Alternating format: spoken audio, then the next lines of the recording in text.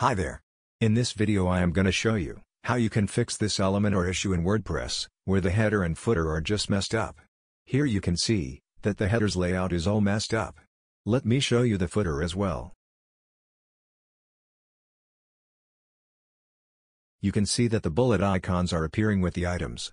Now I've already made a video on how you can remove this bullet icons, if you haven't watched it yet, watch it here.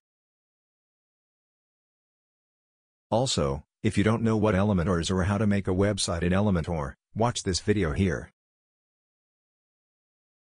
Now, basically you will face this issue when you migrate your site to another host or your Elementor plugin is outdated. Now if you don't know how to migrate your website to another host for free, watch this video here. Now let's get to it. In my case, I didn't migrated the site whereas my plugin is outdated. From your dashboard, Go to Plugins and click Installed Plugins. Here you can see, the Elementor free versions update is available as well as, the Pro version is little outdate. Outdated plugins can sometimes create clash with the updated plugins.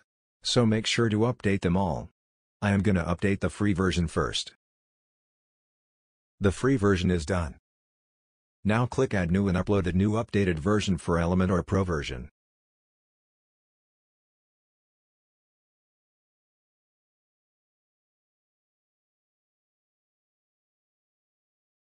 Just replace the updated version with it and that's it.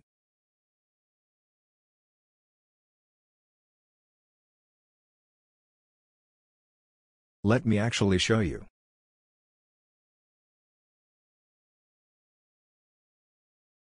See, it's fixed. If this video helped you in any way, like this video and subscribe to my channel.